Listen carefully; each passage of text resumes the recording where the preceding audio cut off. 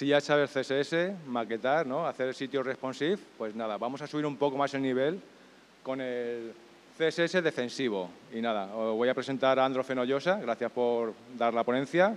Eh, bueno, eh, bloguero, ¿no? profesor, es un poco, ¿qué tienes? De, ¿Qué más te iba a decir? Eh, pues luego se presentará el mejor. Eh, perdona, escritor, formador, bloguero, bueno. Y nada, vamos a subir el nivel, vamos a aprender técnicas y trucos ¿no? para esos problemas que hemos tenido muchas veces con el CSS y nos hemos pegado. Y nada, os dejo con CSS defensivo para contenido agresivo. Muchas gracias. Gracias. Yo espero que tengáis ciertas habilidades con CSS porque mm, digamos que esto va a ser una masterclass de cómo preparar tu CSS para un contenido que no tenemos control, de ahí agresivo, y voy a hacer un breve resumen de unas técnicas que se llaman CSS defensivo, de ahí el nombre de la charla, pero además os voy a contar la historia de una chica que no está entre el público, pero le voy a llamar Esmeralda. Y es un caso real y es un poco bueno, fuerte lo que os voy a contar porque es su despido. Voy a contar qué pasó con ella hasta el punto que tuvimos que darle una patada dentro de la empresa. Bueno, para empezar, quiero decir que esta, chica eh, empezó en nuestra empresa casi desde cero, había aprendido lo mínimo de CSS, de HTML, estaba haciendo su primer contenido, venía contenido directamente de, un CMS como puede ser WordPress y bueno, había partes que no se terminaban de ajustar. Tuvimos que ayudarla, pero bueno, la vida es así.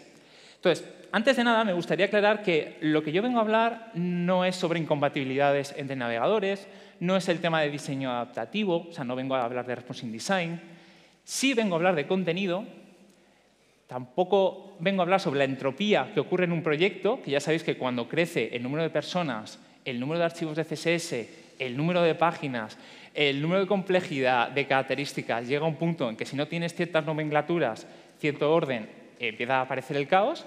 De hecho, tengo una charla muy interesante al respecto, que podéis buscarla. Tampoco vengo a hablar sobre mantener un sitio siempre actualizado, ¿no? porque las librerías y bueno, todo el software que hay detrás es otro tema totalmente aparte del diseño web. Y eh, otro problema que podemos encontrar, que tampoco voy a hablar, es el tema de la caché y de los gatos sobre el teclado.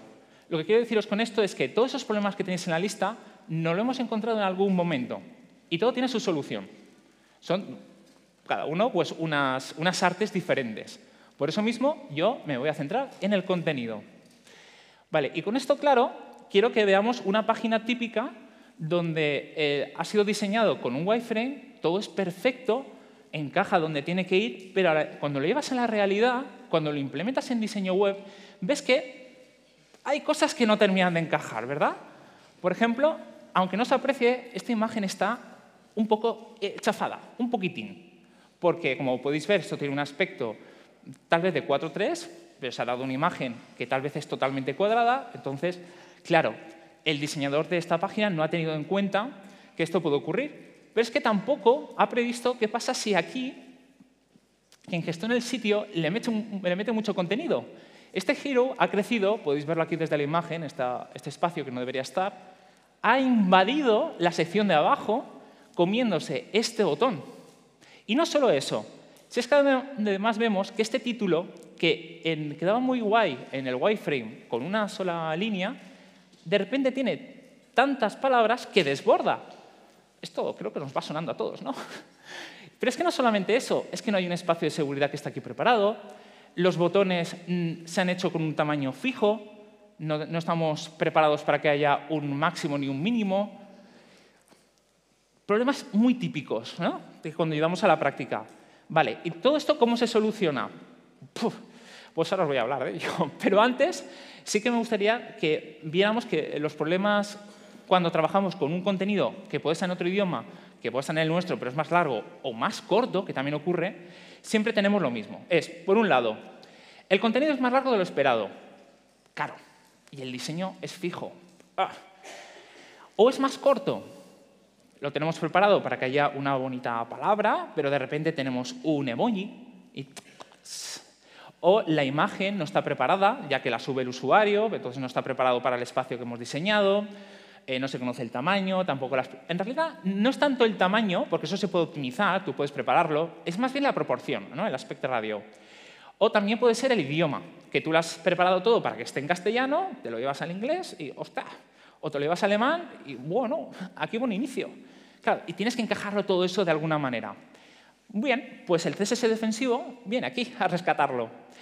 El CSS defensivo eh, son un conjunto de técnicas que evitan romper el diseño cuando no se tiene control sobre el contenido. Es decir, cuando el contenido es generado por el usuario o por un CMS, como puede ser WordPress, cuya longitud desconocemos. Vale.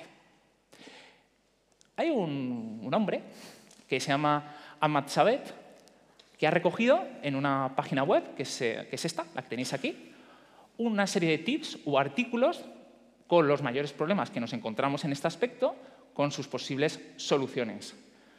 Podéis o visitar la página y ya podéis iros de aquí, porque está todo el contenido, o os quedáis y os doy una masterclass y un resumen bien compactado, ¿no? muy fácil. Por cierto, eh, es una página que yo tengo siempre mis marcadores.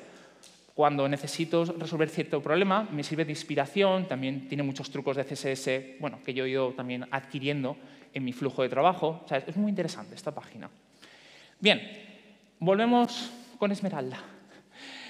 Le damos este diseño y le decimos, bueno, nos gustaría implementar esta tarjeta que es para speakers, como puede ser aquí en la WordCamp, donde cada uno tiene su espacio, ¿no? su columna. Va a haber en la parte superior una imagen, después va a estar el nombre del ponente aquí, después habrá una breve descripción y sus redes, ¿no? X, Facebook, lo que sea, más todo. Vale. Le avisamos de que ese es el, diseño para mobile y luego en escritorio se va a ver un poco más ancho. Entonces ella pues, comete el primer error, dice, vale, es lo mismo pero más ancho, pues los tiro. Y, y claro, decimos, no, no, vamos a, a, enfocarlo de otra manera. ¿Qué te parece si hacemos dos columnas? ¿vale? La imagen la llevamos a un lado, el otro... Vale, va, va, es un buen comienzo. Vale, empecemos trabajando las bases de cualquier página web, la estructura, los cimientos, el HTML. Bien, aquí tenéis, uff, no se ve nada. Bueno, os lo resumo. Eh, tenemos por un lado un artículo donde estamos utilizando la nomenclatura BEM, bloque elemento modificador, se llama speaker esta clase, todo lo que tiene dentro, pues pequeños elementos, tiene la imagen, donde tiene un alt, bueno, tiene una clase, perdona, no hemos puesto un alt porque da igual, lo hemos escondido con área IDEN, porque no nos interesa que esto lo pueda leer un lector de pantallas. Le hemos puesto un H2 porque hay un H1 en algún sitio, como veis los nombres separados con dos guiones bajos típicos de BEM. Eh, tenemos un párrafo que es bio, tenemos un navegador que tiene la típica estructura con la etiqueta de contenido NAP, pero luego su contenido es NAP, UL, LI y UNA. Además, como estos hipervínculos tienen un emoji o un carácter que no puede ser leído por temas de accesibilidad, hay que añadirle un área label. Y ahora sí, ya tenemos algo majo por donde empezar. Muy bien. Pues ala, esmeralda. Ponte a ello. Te damos esta imagen. ¿Qué tiene, de, ¿Qué tiene de especial esta imagen? Aparte de que es muy mono este gato. Que la proporción no es cuadrada. Ups. Si yo la pongo, eh, ay, pobre gato, ha perdido peso. Claro, aparece totalmente... Y bueno, aquí se ve una primera estructura, un primer boceto, donde ya se ha colocado cada cosa en su lugar, aún no se ha puesto separaciones adecuadas, ¿no? Veis que está aquí todo apelotonado, hay un degrado de fondo. Vale, pero hay muchas cosas que arreglar aquí, muchísimas. Quien tenga ojo eh, me puede hacer aquí un, un listado bastante considerable. ¿Cómo arreglamos el tema de la imagen? Bueno, pues empezamos con lo que para mí es base en cualquier proyecto, que son estas tres líneas. Todas las etiquetas IMG, da igual que tú tengas un componente o se lo apliques a todas las etiquetas en general, le tienes que añadir que tenga una anchura de 100% para que esa imagen sea responsive, ¿ya? Pero ¿cómo adapto yo esa imagen entonces a una resolución que yo estoy buscando? El contenedor. Tú le das el tamaño al contenedor o lo maquetas, pero la imagen 100%. Después de eso le añades un object fit covet que te ayudará a que tú puedas redimensionar esa imagen en proporción y no se aplaste, sino que haga una especie de recorte, una especie de máscara, y además le dices que centre ese recorte. Y bueno, pues con estas tres líneas, insisto, que debería estar en todos vuestros proyectos, ya tenemos la imagen mucho más maja. Un primer avance. Ay, Esmeralda. Bueno, ¿qué más cosas está ocurriendo aquí? Pues Se le ha puesto una palabra un poco larga y cuando se hace responsive, ups, ups, hay un desbordamiento. Vaya, ¿qué podemos hacer? Bueno, muy fácil. Le decimos, cuando nosotros tengamos bueno, previsto o hemos detectado que esto puede ocurrir, estas dos líneas y arreglado. En la primera yo le estoy diciendo de que cuando encuentre esta situación me haga un grab, o sea, se rompa, ¿no? Y por otro, le estoy diciendo que la anchura de esa palabra o de ese texto no sea el tamaño del texto, sino sea cero. En otras palabras, que se pueda resolver. Y con esto pasamos de el problema anterior a una palabra que podemos evitar salga por los laterales. Bueno, ese caso ya es muy extremo, pero ahora lo tratamos. Todo tiene solución en esta vida. Vale, más cosas. Si os fijáis, eh, cuando yo estoy poniendo esta, eh, bueno, unos nombres, como pueden ser esto, ¿no? con unos apellidos, yo lo he diseñado para que esté en una sola línea. Pero la realidad es que ya sabéis cómo funciona el contenido dentro de HTML y CSS. Esto pues automáticamente me va a saltar, me va a crecer en altura, aunque anchura yo lo controle. Y esto es un problema. Cuando ocurra este caso, tenemos que pensar cómo lo queremos resolver. No hay una, una forma mágica. Tienes que decidir entre opción 1, dejar que esto ocurra. Opción 2, ocultarlo. Opción 3, ocultarlo pero añadir algún tipo de animación que se pueda scrollear de derecha a izquierda. O lo último, que es lo que vamos a aplicar ahora mismo, es añadir una elipse. Me explico. Yo añado este, esta línea de CSS que le estoy indicando con este estilo de que no se rompa, en otras palabras, que no haga un grab. Le digo que cuando sobresalga por un lado se oculte y por último, le digo que añada unos puntitos al final de esa línea. Vale. Pues con esto le enseñamos a Esmeralda que podíamos conservar esa, línea a coste de estos tres puntos. Que esto se puede seguir trabajando, ¿eh? se puede añadir perfectamente una animación en CSS, en JavaScript o un pequeño scroll y se puede visualizar no estamos contentos con Esmeralda, porque seguimos trabajando y hay problemas. No ha tenido en cuenta los espacios de seguridad. Seguimos haciendo la anchura y todo está pegado. O sea, ¿lo estáis apreciando? Esto, esto está pegado con esto, esto está pegado con esto. No hay separación entre las dos columnas. Es un desastre. Entonces, esto es lo más fácil de todo, porque lo único que tengo que hacer es añadir un gap, sobre todo si estoy diseñando con Flex on Grid, y añadir un pequeño padding alrededor, con estas dos simples líneas que eh, bueno, son muy cómodas de añadir, porque lo podemos meter a casi cualquier tipo de, maquetación, pues ya tenemos, como veis, mucho más agradable en, su entorno. Luego en versión eh, mobile, veis, se conserva, queda bastante bien. Vale. Continuamos y em, tenemos un problema con los botones. Fijaros, son muy pequeños, además eh, fáciles de que no sean pulsables. Tenemos que jugar siempre con los botones, esto ya no es solamente por este diseño, sino eh, por cualquier cosa que hagáis, tiene que tener un área suficiente de pulsado para que tú con tu dedo gordo le puedas dar en cualquier momento, no tengas que hacer un zoom y ahí jugar como un francotirador. Y con eso, sobre todo en estos casos donde no sabemos qué puede haber, pues lo más cómodo es añadir esto. Un mínimo de anchura y habrá mejor. ¿no? Eh, permite que crezca el botón, como podéis ver con website, ¿no? Eso puede darle toda la anchura que quieras y bueno, los botones como mínimo tienen una zona donde podemos trabajar. Tiene más cosas, pero esto sería lo, más interesante. También ocurre que no se ha previsto la anchura máxima. Eh, esto es una salvajada, porque si yo tengo un diseño, un grid, dos o tres columnas, me da igual, y el último elemento que tengo en la parte inferior no he previsto puede crecer y ocuparme todo el ancho. Entonces me queda un diseño terrible, un, desastre. Esto, esto no se lee, esto es un desastre.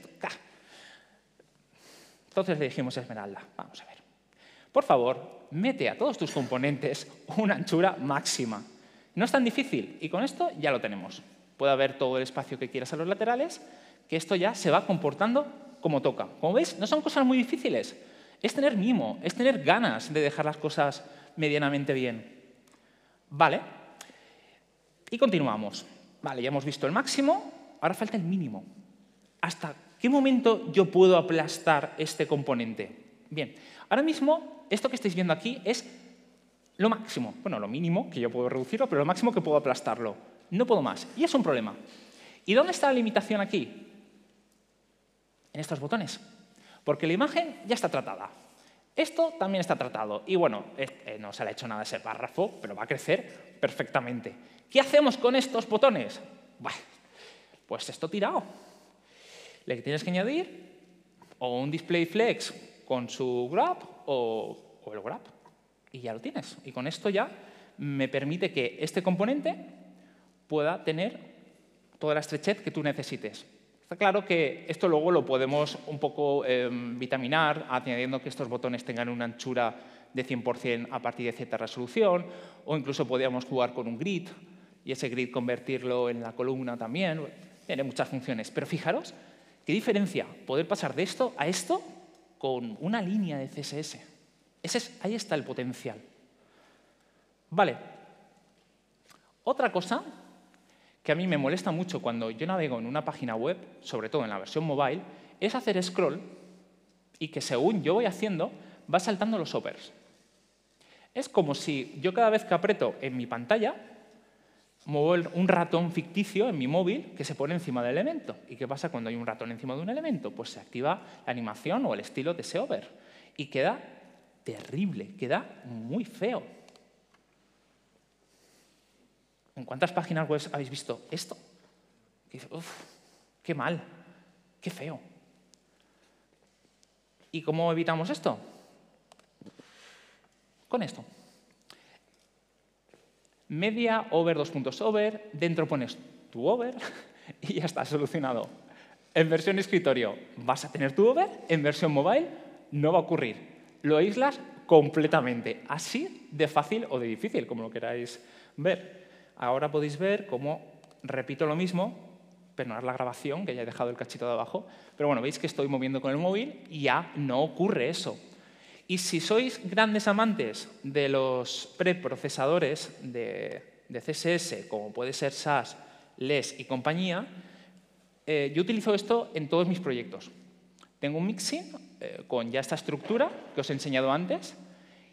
Cuando, por ejemplo, en un botón le quiero añadir over, en lugar de poner aspersan, dos puntos, over y poner el estilo o, el conjunto, directamente pongo mi mixing, arroba include, eh, over, paréntesis. Y esto ya me añade toda esta cosa tan fea y no cambia mi flujo de trabajo. Es algo que ya, ya están en, todas mis plantillas, en todas mis páginas web, y bueno, gratis tengo ese saltito ¿no? de, de calidad. O sea que es muy cómodo. Esto es un trucazo. Esto no está en la página de, CSS defensivo. Esto es propio. Vale, pues con todo esto, después de una semana de desarrollo, ya Esmeralda por fin lo terminó. Lo probamos y funcionaba bien. Alguna cosita que había que mejorar dentro de Safari, pero bueno, se, se pudo hacer. Pero bueno, ¿qué le vamos a hacer a la pobre chica? Es que es verdad que estaba aprendiendo, pero bueno, ¿qué lecciones saco de aquí? O vosotros que estéis aquí presentes. Primero, tenemos que evitar el distorsión de las imágenes, lo que os he dicho antes del object fit. Cuidado con las palabras largas. Podemos prever eh, que haya ciertos momentos en que esas palabras tengan que saltar, no solamente las frases o lo que sea necesario. Cuidado con las líneas. Si tú en el diseño lo tienes ya puesto para que haya una sola línea, tienes que pensar cómo lo vas a solucionar. Cuidado los espacios de seguridad. No cuesta nada poner un poquito de gap y un poquito de padding para que todo se quede bien bonito y elegante. Y si puede ser siguiendo la hoja de, lo que se haya pasado el UXY o lo que sea para que quede todo de forma uniforme.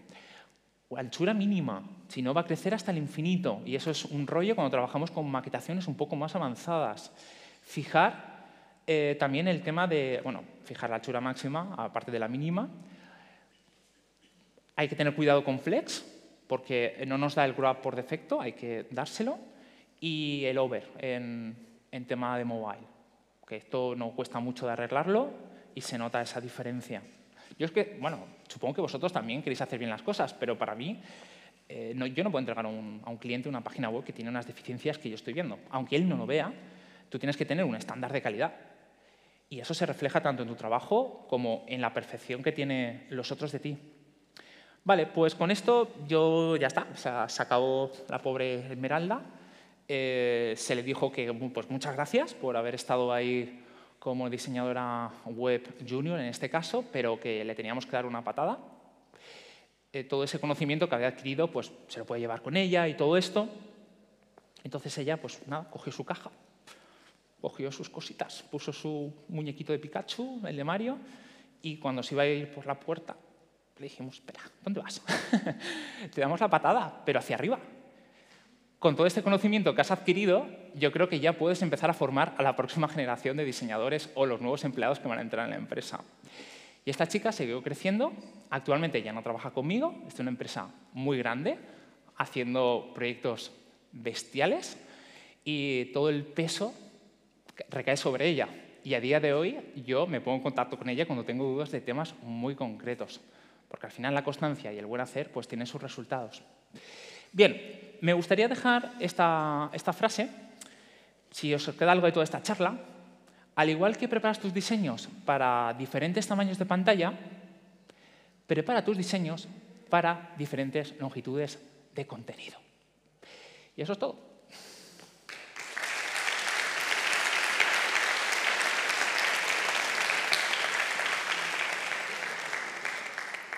No tenéis preguntas, ¿verdad? Estaba todo llenas de diapositivas.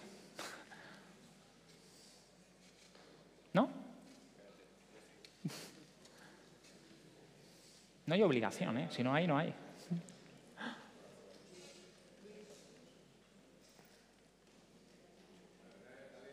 Si quiere preguntar, yo pregunto. A ver, el futuro del CSS, ¿cómo lo ves? ¿El, disculpa? El futuro del CSS. ¿Futuro del CSS? ¿Evoluciona correctamente? Mira, yo tengo la teoría de que el CSS ya es perfecto a día de hoy porque a lo mejor aquí alguien me empieza... Eh, porque ya tenemos las, herramientas necesarias para hacer prácticamente cualquier cosa que se nos ocurra. Otro tema es que, claro, se nos seduce mucho Tailwinds, eh, todo el tema de la atomicidad, el de meter unos componentes reutilizables. yo eso lo entiendo. Pero si tú tienes una buena arquitectura o una nomenclatura clara de CSS, sabes trabajar con SAS, soy muy, muy fan de él, y tu equipo está bien formado, eh, en realidad no te hace falta estar pendiente de la última característica que va a salir de pseudo elementos, de que ahora puedes hacer esto con Chrome. No, eh, ya está ahí. Ya depende de ti que sepas gestionar bien ese contenido, esa página. Gracias. Buenas. Te quería preguntar si mm, el desbordamiento por, por una configuración, por ejemplo, en mi caso, yo por discapacidad visual, tengo mi dispositivo móvil un tamaño de tipografía enorme. Entonces, ya no es que la palabra sea larga por sí, porque digamos que la palabra está bien en las pruebas que hace el que genera contenido, está bien, pero yo por mi configuración desborda. Eh, ¿Se podría llegar a, aparte con los dos ejemplos que tú has puesto, de que salte de línea o, con los tres puntos, la tipografía fluida podría llegar a arreglar eso o no, no valdría para, esa, es cierto que, bueno, gracias por la pregunta. Es cierto que tú puedes jugar con el tamaño de, la letra. Y si es variable, pues ya, ni te digo las barbaridades que puedes hacer ahí si juegas con ciertas medidas. Si ese tamaño está en un punto justo en que es legible, bueno, sí, puedes, puedes hacerlo. Yo casi prefiero, si de verdad es importante ese contenido, dos líneas. Si cabe en ese diseño, claro. Si, si es una impresión o un PDF pues entonces ahí mal lo tenemos, ¿eh? Porque no podemos jugar con animaciones ni nada. Yo le digo, justo ayer nos surgió un ejemplo, una carta de un restaurante. Sí. Y la palabra está bien en una persona que no tenga esta, esta modificación de, de cómo ve la web, pues la palabra le cabe perfectamente, pero en mi caso la palabra desborda, porque como lo han hecho en dos columnas, tal, entonces la palabra parte, partía, a mí me partían casi todas las palabras del menú. Entonces ya la dificultad de la propia legibilidad, o sea, es que para mí resultaba complicado leer. Entonces, claro, sí, hay que mantener el diseño, la tipografía, todo lo que tú quieras, pero luego al final, aparte del propio diseño, está la legibilidad, por eso lo preguntaba.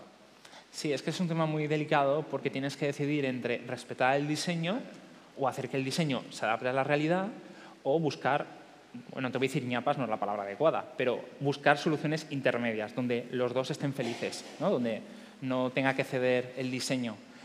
Pero es que es una situación muy... Hay que hablar más con el cliente que con otra cosa. Muchas gracias. Gracias a ti. ¿Alguna pregunta más? Buenas. Hola. Yo quería preguntarte que he visto que mm, hay, algunas cosas que antes se podía hacer con JavaScript y lo estoy viendo que lo están incluyendo para hacer con CSS. ¿Tú cómo ves eso? ¿Ves una práctica que se va a extender más en el tiempo y le va a, ganar terreno a JavaScript CSS o no? Lo bueno de CSS es que es más rápido que JavaScript, eh, es más compatible si está dentro del estándar y por último, es mucho más fácil de mantener en el tiempo. Yo prefiero tirar siempre que se pueda y es realista hacerlo con, CSS, pero también es cierto, es como todo, hay que valorar en la vida. Una línea de JavaScript te puede ahorrar un bloque CSS enorme. Tendría que ver cada, cada situación y cada caso. Gracias. A ti. Anda. Buenas. Hola, Lorenzo. Quería preguntarte, antes has dicho que eh, actualmente el CSS ya tiene todo lo que tiene que tener. Desde mi punto de vista, sí. y claro, ¿y por qué no tiene ya SAS o el SCSS dentro del CSS? Es verdad, ya no todo, el 99,9. Sí, es muy interesante porque hubo un momento en la historia, cuando se estaba naciendo los estándares de los navegadores, en que incluso se pensó en que jQuery estuviera integrado dentro del, navegador. Eh, ¿Por qué no con otras cosas? ¿no? Meter SAS que también ya estuviera por defecto. Creo que es más bien por un, por un tema de legacy. Es decir, oye, esto tenemos que hacer que siga funcionando, pero claro, no podemos ir siempre a la ola de, los cambios que están ocurriendo, porque esto puede desaparecer, luego creamos una dependencia si lo quitamos del navegador. Claro, el estándar es muy rico, pero vamos, también las herramientas de desarrollo actualmente son brutales. antes es verdad que tenías que pelearte mucho más con JavaScript para precompilar, por poner un caso, o tenías que tener un Ruby instalado. Hoy en día tienes un montón de software visual que te lo puede compilar, entonces no lo veo ya tanto una barrera de entrada. Ya es aprender los, los fundamentos y que no tengas miedo, por supuesto que no te dejes llevar por la última tecnología, sino vayas siempre a lo que funciona. Gracias. Gracias a ti. No tengo muy claro si te respondí. Ninguna pregunta, pues la, última, la mía. Eh, la web que nos has recomendado antes, la de Defensive, ¿ese, se va actualizando, se va poniendo cada vez más contenido? Poco hace. Sí, porque yo la visito muy a menudo y no, no veo cambios. También es verdad que lo que... Eh, a, ver, este hombre es como Confucio en su época. No es que haya creado el contenido, él ha cogido lo que ya existía y lo ha reunido en, un blog. De hecho, él también aprovecha para hacer charlas y moverse. Entonces, estas, estas técnicas o, esta librería de, de, formas de solucionar, pues no va a evolucionar mucho más, porque digamos que ya como está todo resuelto, lo más esencial. Lo único que podemos esperar son a los nuevos estándares Exacto, que eso incluya o que resuma dos o tres líneas en una y poco más. Pues nada, muchas gracias. A ti.